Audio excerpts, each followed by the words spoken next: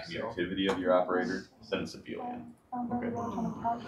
So a field basically Yeah, I has have- I have, addition like, and multiplication, two you just papers that due for in this, ease because it's you all know, built off but like that's fields, it. complexes, whatever. Um, I have one Those paper are due both this Friday and then I have the Abelian. portfolio Like due next week, so.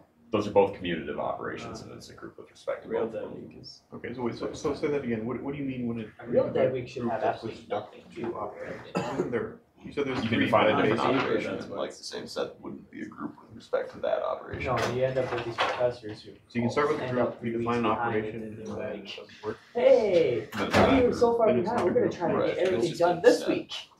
A, a field is like a super group, I mean, I know. So so you She ended basically, up like three weeks behind. So this is just saying that you take, like, you know, during two last year. things in your field, do something to them, and you get something back in your field. So that's like all that that is. So addition rate is a abelian group, so you- it's, right, the, the thing has to be associative since it's a group, and then the abelian means it's, so it doesn't matter. Everything what get our geology finals. Um, you just call it the zero, Geology. or like the, the identity Yeah. element zero, and then Did multiplication, you, you just uh, call I the, uh, took it years ago the with, identity uh, element one, but like with multiplication, you just have to take out Yeah, zero Robert. because it's not a group. If you include that's that, risen. I. Uh, The short kind of round guy. because zero Okay, times you anything can't- just yeah, zero back, so like that Yeah. means everything. Um, he puts out, Interesting. Is there any connection to this field What to the it? physical? you have all the tests, right? Yeah, Because it's multiple choice. Yeah. Just memorize every answer. it, it Well, works to a point, Like an electric because he changed up his testing method and had to Is there any increase the amount of direct questions connection or is per it just test. sort of- Okay, I well, don't like, think do you have like old tests And the test Vector fields are fields, It's kind like- of. I took it with Okay, two of my well, friends. Yeah, It's literally just the night It depends on what you Memorized every define answer as every test. Okay, It's multiple there is- choice. Yeah, it's because it's, it's a hundred Going. questions. And so- then we Yeah, all got cross would not 99s. Yeah, no, it's. 75 Okay, questions well, uh, No, thank you that for would be- continuing investing your time into this uh, course of certain level of being of of boredomness. Um, so our sufferings come to the end very soon. So unless uh, there will be deep complaints, we will stop seeing each other this week. Well, if someone wants, we can keep keep meeting, but uh, there will be no obligation. So uh, four meetings total, including today. And uh, most interesting will be Friday with presentations. So if you have an idea what it will be, just start working on it, and the rest is, so to say, optional or secondary. Uh, I would appreciate if you send the uh, slides on Thursday midnight, so that everything will be loaded here and Friday will go smoothly. The room is reserved for an hour longer, so um, it will. I do not believe that we, we will be able to fit into 50 minutes. So it, will it will go it will go longer, and I probably will send you a list of who will speak after whom. So if, if there is a like life and death uh, schedule conflict, we'll just move in such a way that those who need to leave earlier will be presenting earlier.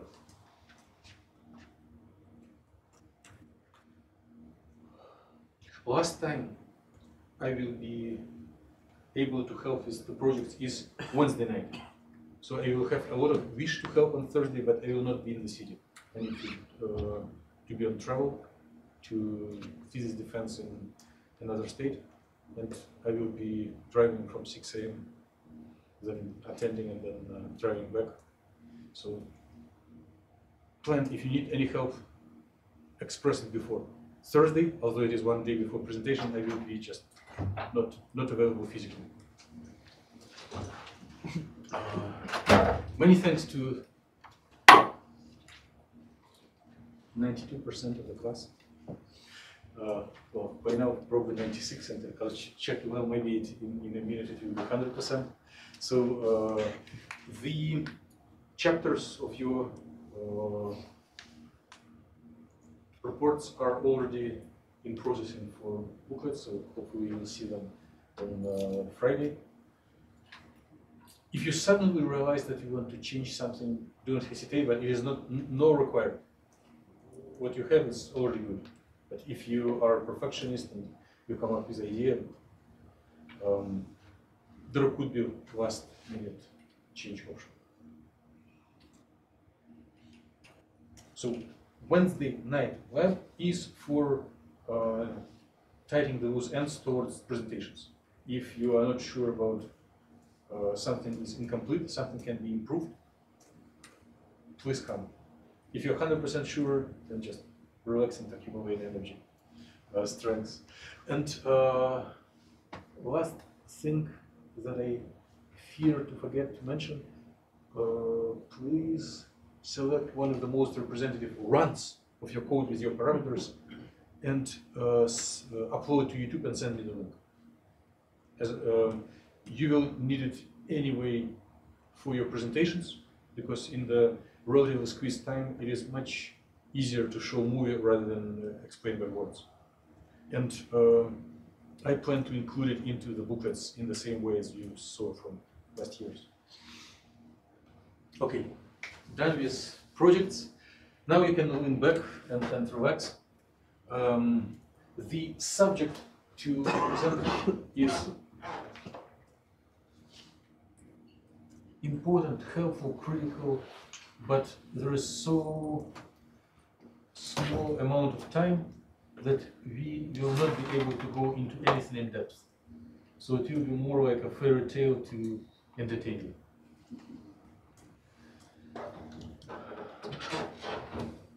So who we are, what are we doing, where we are in the in the class material. Well, uh, of course, this ambitious plan will, will never come. This will never come. Um, in today's meeting, I will try to squeeze material two weeks. and on Wednesday, I will try to squeeze material on, on maybe one week. So today, uh, I'll tell as much as I can about spin. And um, on coming Wednesday, I will share some stories that three or four of you would find most near and dear to your heart based on your projects. Uh, some of the projects were dealing with multiple potential energy surfaces and uh, with uh, Marcus theory that was declared as a word, but we never were exposed to it.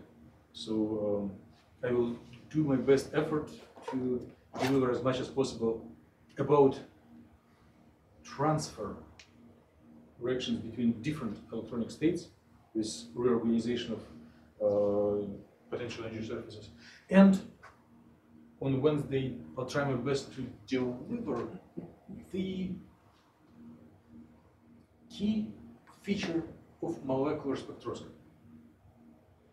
You have known, you, you, you were aware just as a literal persons about the stuff that we didn't cover in the course, but uh, I, I never doubt for even a second that you are aware of the uh, hydrogen atom spectra, which are main feature is that they have very linear shape.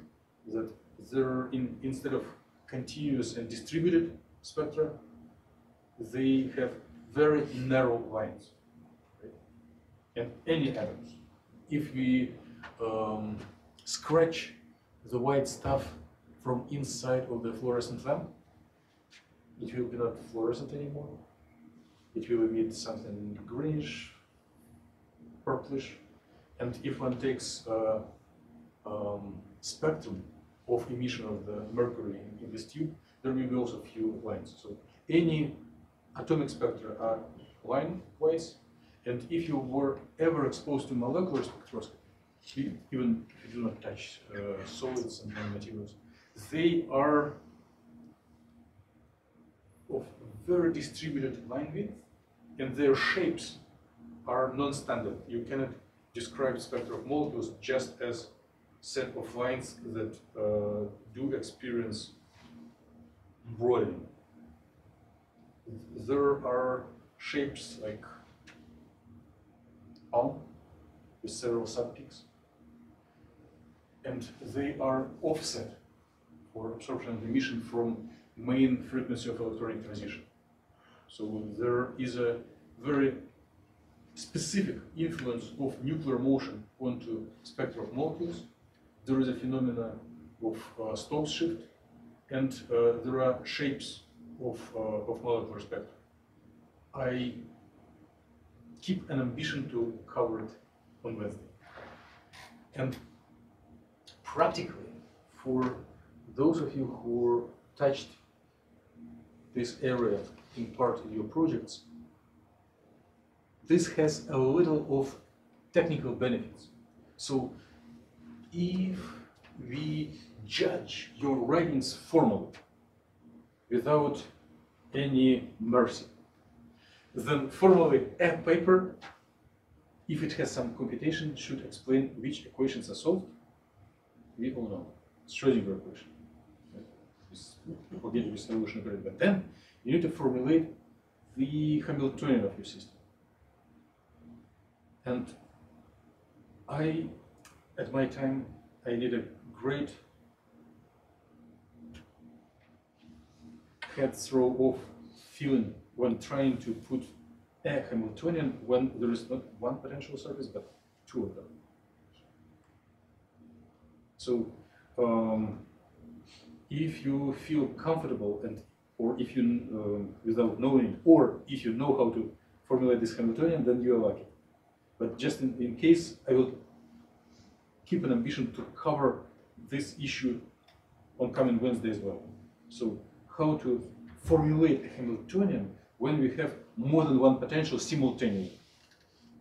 So you already um, practiced quantum dynamics. You got the results. You wrote paper on this. But um, how to express it Hamiltonian is would be a nice thing to cover to round up what we do in class. Again, don't concentrate, do not take notes, win back. There will be nothing serious. The only important thing is presentation. So what is the connection between ambitious plan for Wednesday and today? The electronic transitions, which are key parts for molecular spectroscopy, are described by same mathematical tools, especially if you're looking for, for transition between just pair of levels, like occupied and unoccupied molecular orbitals.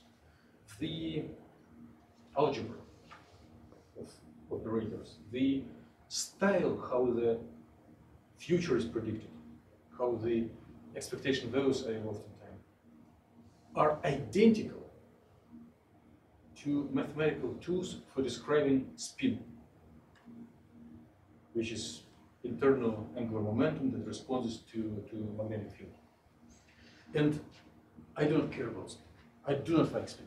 But math that we get from looking at spin is extremely helpful for uh, Stokes shift, Marcus theory, Franck-Condon factors, molecular spectroscopy, things that physical chemists must love.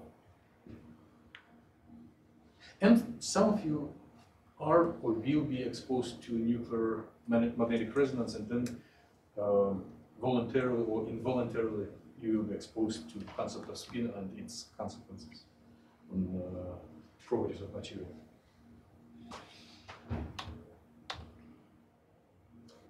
So in between, this is recall from uh, last non-project lecture, which was long, long ago. So between these two lines, there is like 10 intense math pages of, of uh, textbook. So I, uh, I kind of goofed up of not, not showing it. Um, hope you're not regretting. But the consequences of rigorous study of the angular momentum is in two brief statements. Rotations take discrete values of angular momentum.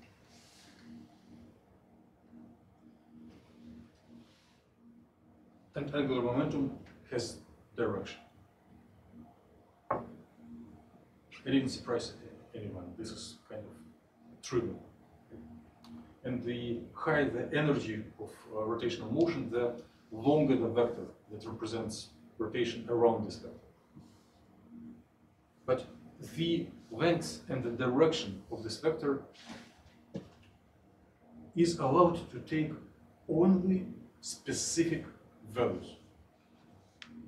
So if you summarize quantum mechanics of angular momentum in, uh, I would say, kindergarten level, then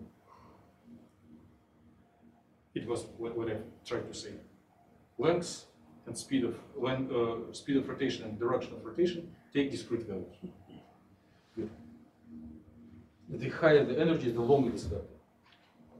And in more advanced chapters of quantum theory, one can consider several objects rotating simultaneously and adding together energy of their rotations. And then those vector experience simple rules of vector addition.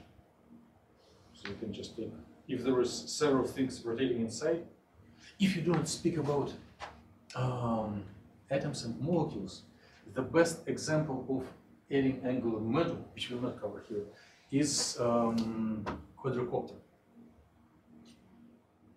So it has several propellers and it um, keeps stabilized because two of them rotate one side to another, therefore it's stable.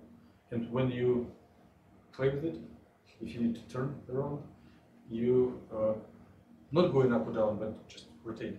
You quicken two that rotate clockwise, you slow down another one, and then it starts rotating as a whole. So there is a connection analogy to like atom with several electrons that rotate, or electrons that have internal angular momentum. It's just entertaining picture. I regret that I didn't do the demonstration. Otherwise, we, we, we could have fun. So, the simplest rotation along this paradigm, along this line, is when the direction is along our preferred z-axis, rotation x1 y plane, and for rotating diatomics or physical rotation, we did found that there is a quantum state with no rotation at all, analog of uh, s orbital, and then there is a minimal quantum of rotation. But if we would look on the electron, I'm going to postulate something instead of uh, deriving. The state with no rotation is absent for this object. So, but there are only two states of internal rotation. One is clockwise, another is counterclockwise. You cannot spin it quicker or slower because the total amount of energy associated with this internal rotation is fixed. So from previous statement about changing the length of vector and orientation for spin, you can, for internal rotation of electron, you can only change the direction of a vector, but not the uh, its pace.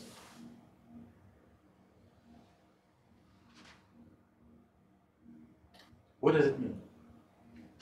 I am going to become happy. I don't know if you will share my happiness, but um, from complicated enough subjects, we are coming back to the area where rigorous and relatively simple math can be applied again and, and followed in all details. Although we will not do it in the class here because of lack of time, but it is possible. So if there are only two permitted directions, it means for this quantum object there are only two states.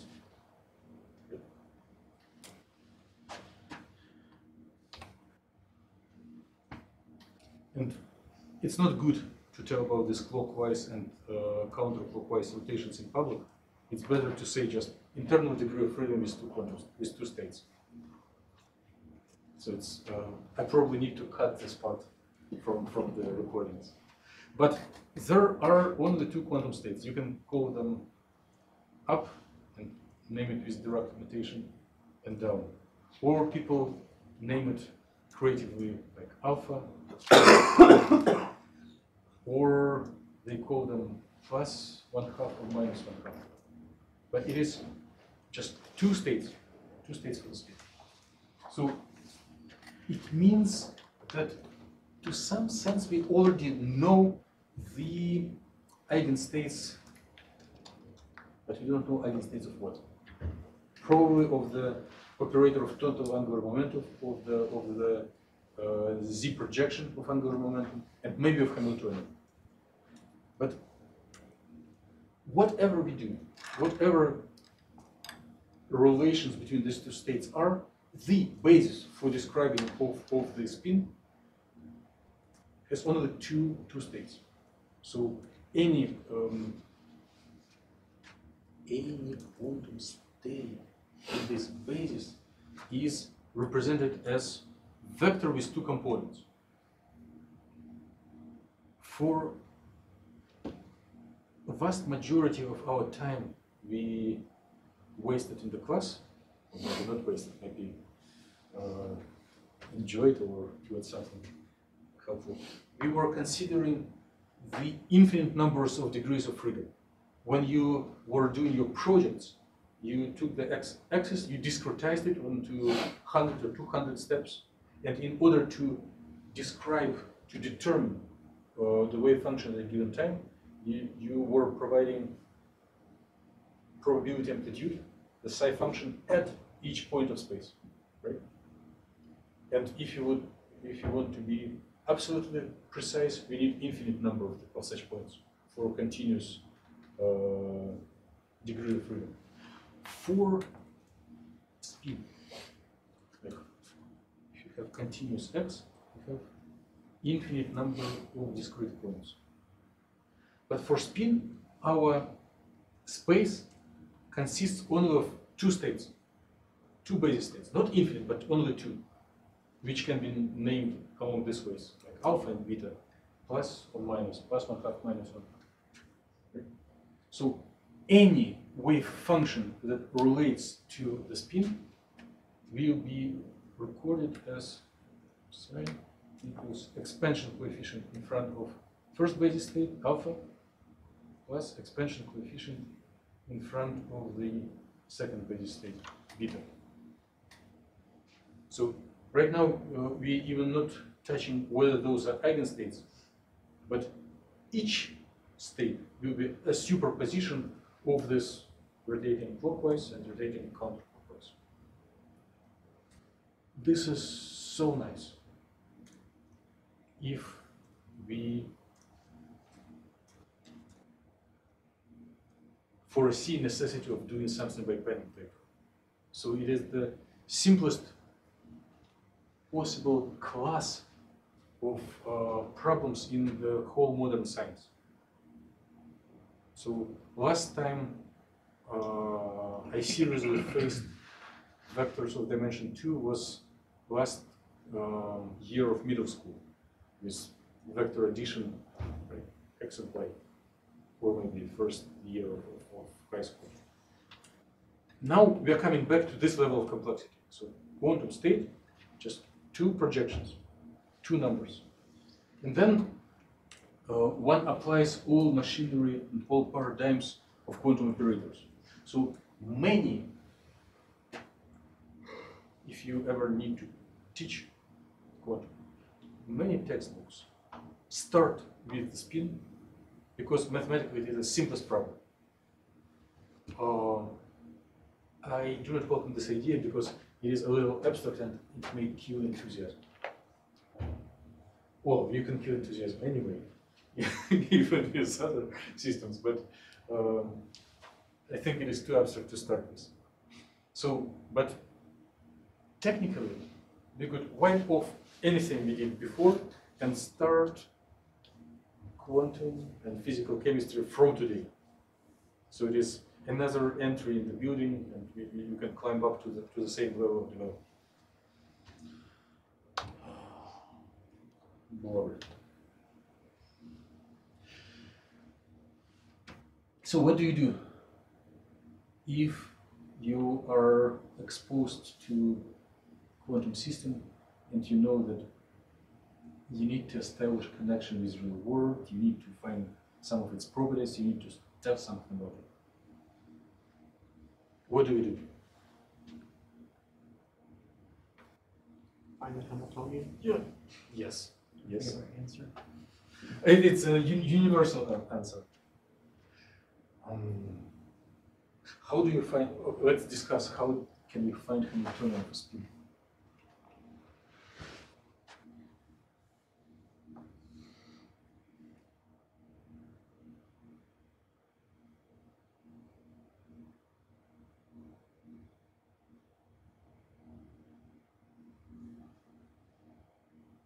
It, do, not, do not be surprised. It is a, it's a big challenge. I do not know.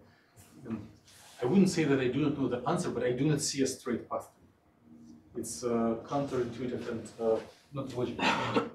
one can one could start scroll back from total value of angular momentum and try to do some tricks to express the amount of rotation and then express rotation along x, y, and z axis, add them together and consider it as, uh, as Hamiltonian, which would be right. But there is a, another way that brings us through our favorite philosophy of bypass, which may look not very logical at the first, but then it uh, shortens the way to, to the answer. So, which, what are your favorite operators regarding the harmonic oscillator? The ladder operators. Yes. Uh, what, what do you think I will tell next?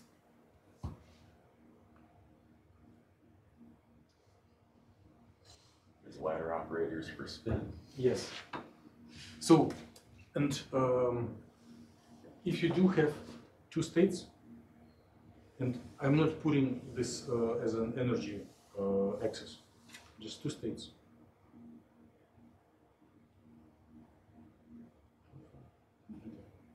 So we can introduce the operators that you pump it from one state to- to another and back.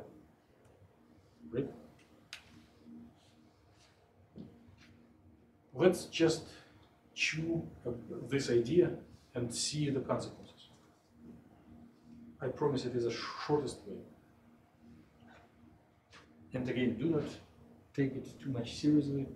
There is no time for rigorous. And my goal is to entertain you. Right now, there is no time to derive things, and there will be no homework. Pure entertainment. Vector. So quantum state is.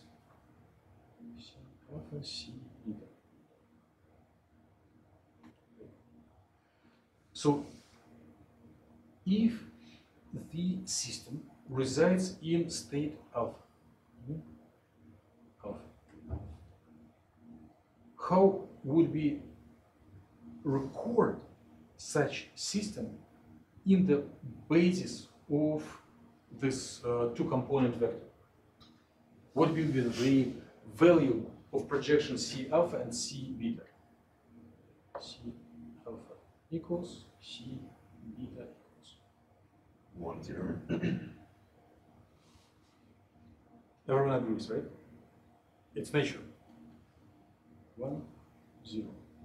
What if the system is in beta? Then wave vector will be zero, one, right?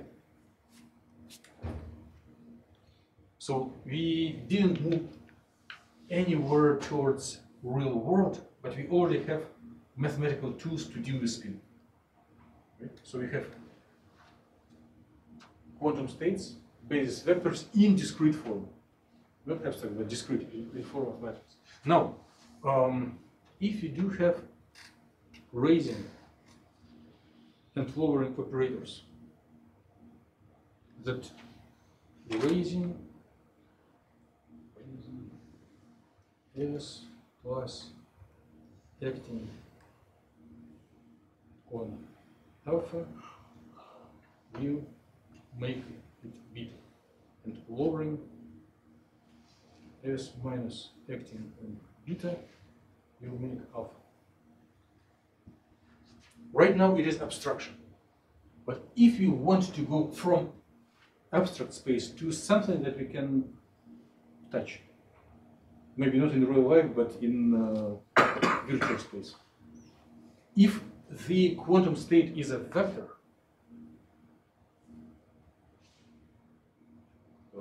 then operator should be right? So the question is which matrix matrix represent S plus and S minus. So we will want to construct such matrix that will convert this vector into this vector and otherwise.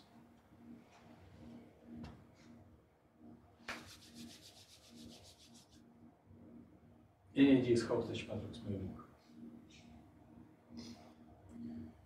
If, if you know, stay happy. If you don't know, just try to concentrate for your, for your pleasure. So the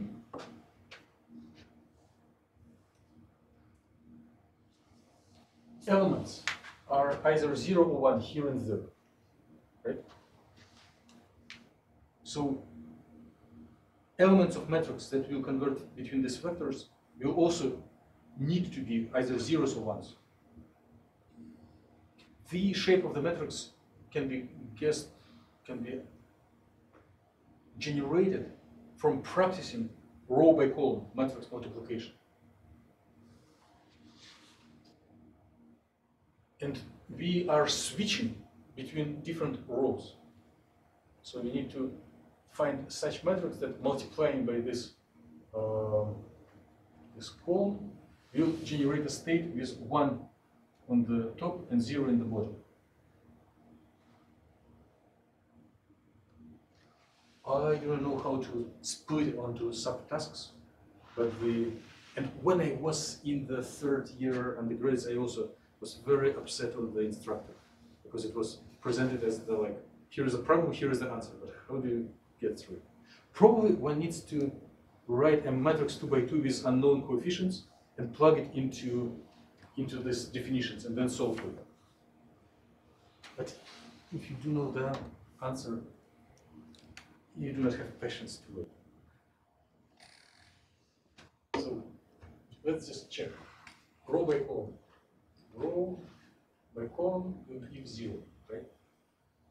Row by column will give one. And inverse. Row by column gives one, row by column gives zero. So it is a matrix four by four with one element equals to one and three elements equal to zero. Make sense? No need to memorize, no need to practice, no assessment of your memories and skills on this, it's just you to play. Row by column, so we, we do have two matrices, S plus and S minus, weather operators. They will convert whatever was in one state into another and back. Okay.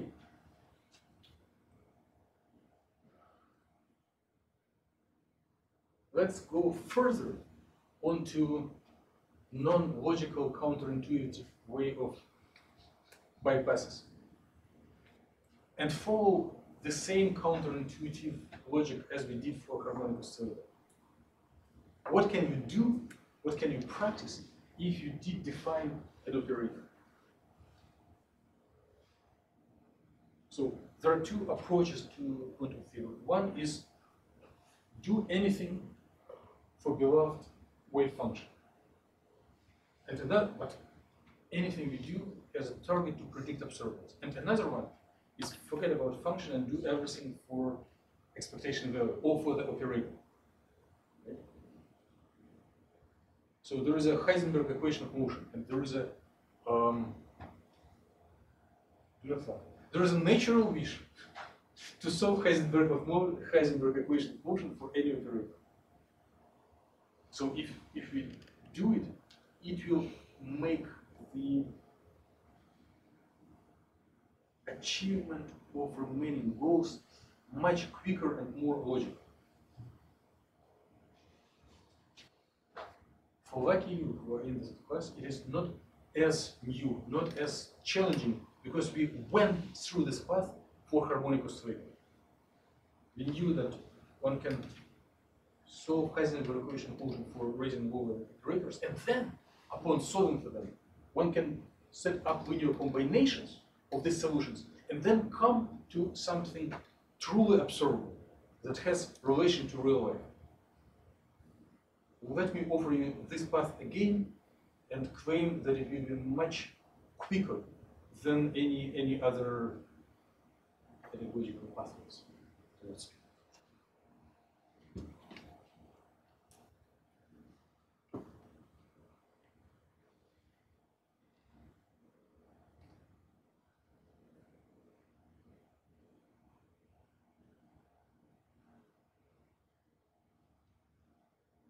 What is the energy of spin up in absence of magnetic field? How does it differ from energy of spin down in absence, absence of magnetic field? If this question challenges you too much, let's look around for educated, certified physicists. What was the question again? Is there energy split between? You, you took my invitation to, s- to sleep and relax too literally.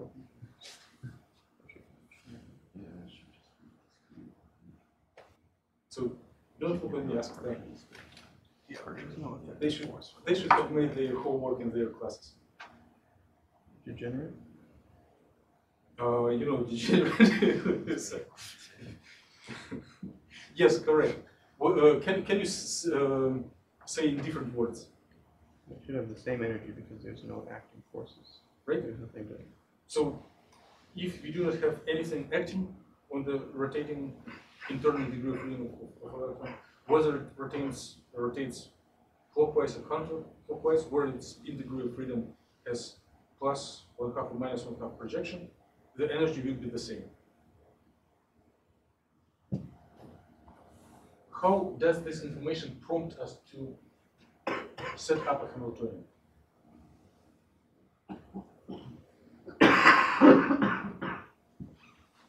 It means that Hamiltonian is typically diag- diagonal, right?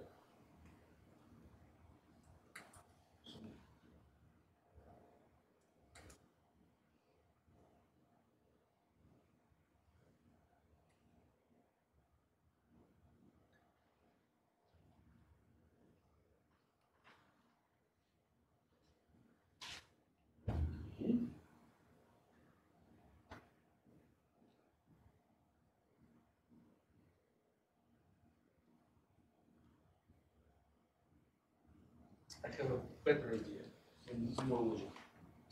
By analogy to our two uh, dimensional rotator, what is the the energy operator does commute this total angular momentum squared. So the length of the vector of angular momentum. And we do know that the length of total angular momentum for spin by our axiomatics, by our definitions, doesn't change. So we can set up the this uh, total angular momentum squared as I'm skipping the factors. Zero, zero, one. So an identity operator that doesn't change anything.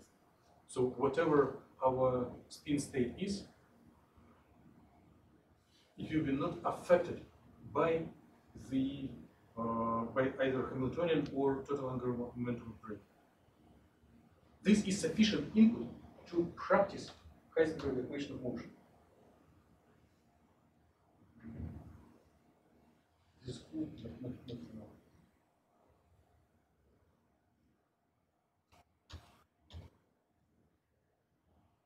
I went too quick because of time.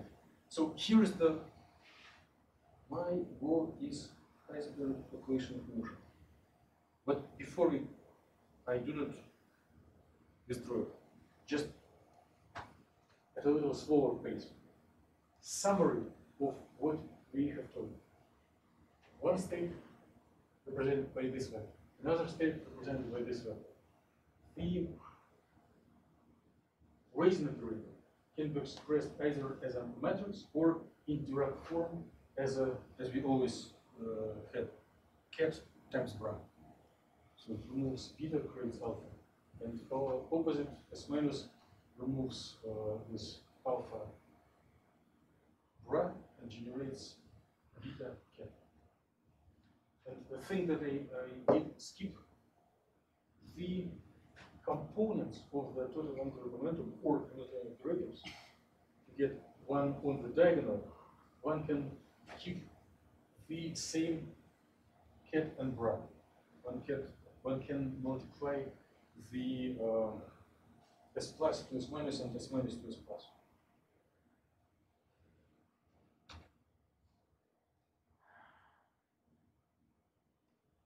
I want to go to uh, Heisenberg equation very quickly. But this basis, this basis of the operators gives a way to for to formulate Hamiltonian of those these two level systems. So this uh, writing energy of one, energy two is energy of first state multiplied by this projector, energy of second state multiplied by this projector, or it can be expressed by energy of these two products of rising moment operators, or this energy multiplied by projectors. Right now, we do not need it. Those of you who did Marcus theorem may like it as a way to express the Hamiltonian for states with several potential energy surfaces. Because on one hand, we have right now the spin, but in the future, electronic degrees of freedom, which we describe with this Dirac notations prime. But at the same time, these energies of one state and another state do depend on position and act as quantum operators acting on position themselves. So we, we can have same kinetic energy for both, and then different potentials for ground and excited states multiplied by this uh, projectors. So I'll try to cover it again until Wednesday. Now I'm looking for Heisenberg equation. Yes. Fine. So we commute Hamiltonian operator that we want to propagate in time. And we can do this thing even if we are, if you didn't develop far enough in understanding what this operator is. It's universal. For any operator, you can formulate Heisenberg equation quotient and so on. So, if we formulate it for S plus, you can enjoy a lot of easy and pleasant algebra and find that it will perform the same thing as we observe for raising operator in the harmonic oscillator. It will be value for the operator that accum just accumulates phase, which means rotates in complex plane. Yeah, rotates in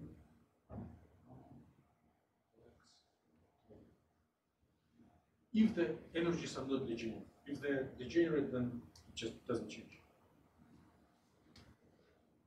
Please do not develop film of upset to me. Remember, right now I'm squeezing material of two weeks into uh, uh, 50 minutes. So if something seems not logical or some derivations are skipped, do not suffer. Uh, so if we practice be same operation for lower material.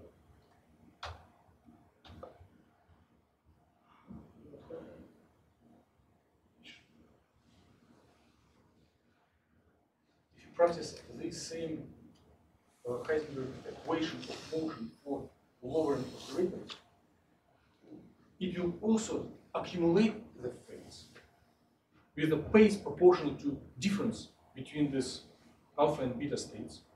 If they degenerate, there nothing, there will be trivial dynamics, means no dynamics. But the sign of this phase accumulation will be different. So it's like rotating complex plane in opposite directions. Two oscillator exponentials, our favorite mathematical object. Now,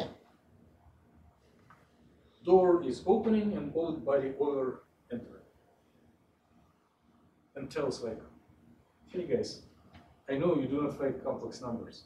Why don't we convert it to real? So any imaginary exponential is sum of cosine and i times sine, right?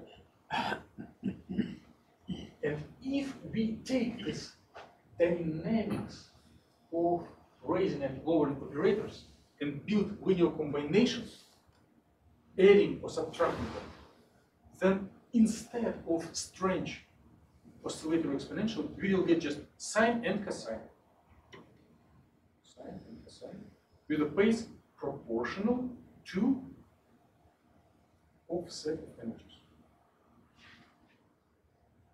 Which will be zero if there is no magnetic field and will increase if magnetic field is applied. This is another statement I hated my instructor. So I, I know it's either too quick or not logical, but adding together these two things or subtracting them will bring us from complex plane rotation into sine and cosine. So now we are coming to a real world. And I have three, no, two minutes. Very good. So if you take expectation values of this S plus and S minus uh, operators, add together, initial values, and then oscillations proportional to cosine. If I take the subtraction divided by imaginary unit, it will evolve uh, in time as sine. So S statement, summation and subtraction of these uh, weather operators will correspond to projection of magnetization of the material composed of such objects. So if you have unpaired electrons sitting on atom or molecule and the values of such such points, then adding and subtraction of the weather operators will tell us what is the internal magnetic field of such system in x and y dimension. So if we have a little offset between their energies, then this sine and uh, cosine rotation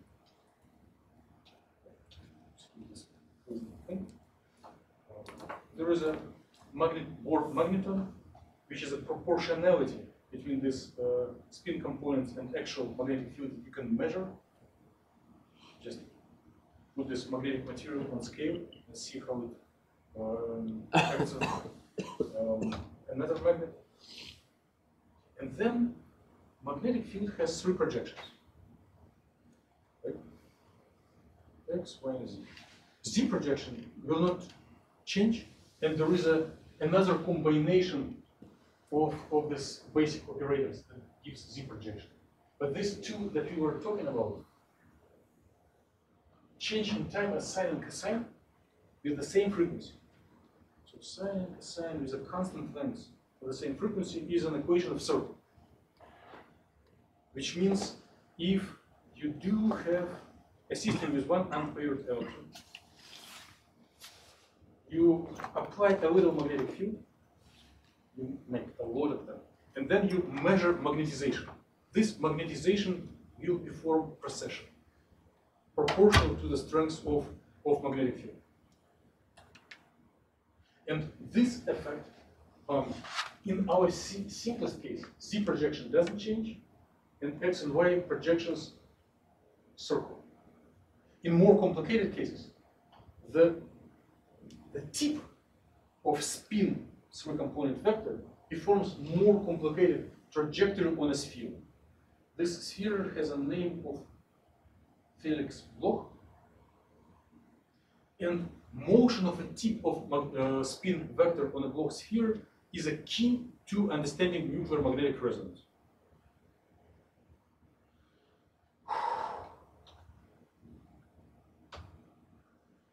Enough. Thank you for being passionate about these extremely squeezed materials. Looking forward to see you on Wednesday. Relax, accumulate strengths. I think other courses uh, give you harder time.